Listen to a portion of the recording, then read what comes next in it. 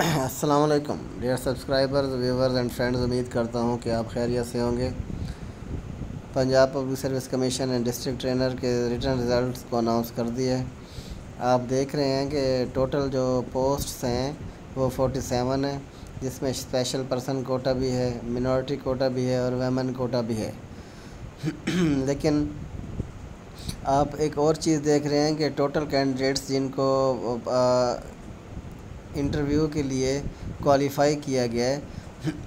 वो उनकी तादाद है 204 जबकि सीट्स हैं 47 अब 47 जो सीट्स पोस्ट्स हैं, इनको पीपीएससी के क्राइटेरिया के मुताबिक 235 कैंडिडेट्स को रिटर्न टेस्ट के लिए पास करना चाहिए था।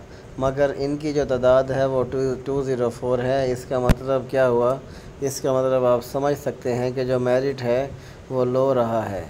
तो अभी इनिशियल अंदाज़ा यही है कि क्योंकि कैंडिडेट्स जो हैं वो इंटरव्यू के लिए उनकी तादाद टू थर्टी फाइव से कम है।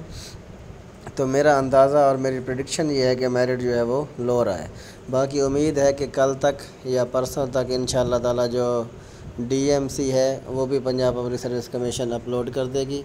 जैसे ही डीएमसी जो है वो अपलोड होगी तो एक बार फिर इन ताला उसके जो मेरिट होगा उसको डिस्कस करूँगा।